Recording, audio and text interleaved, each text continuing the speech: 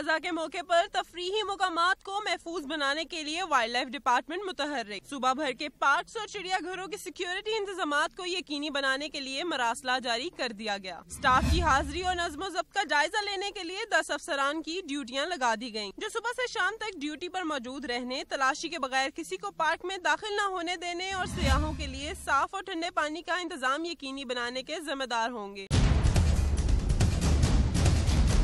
S O Ps پر عمل درآمد یقینی بنانے کے لیے سعید ظفر اللہ کو لاہور چڑیا گھر، جبکہ رانا شہزاد خان کو وائلڈ لائف پارک چانگا مانگا اور جلو پارک لاہور کی ذمہ داری تفویض کر دی گئی۔ تمام انچارج متعلقہ پولیس اسٹیشن اور بم ڈسپوزل اسکواڈ سے رابطے میں رہنے اور ٹریفک کی روانی برقرار رکھنے کے لیے وارڈنز کی خدمات حاصل کرنے کے پابند ہوں گے۔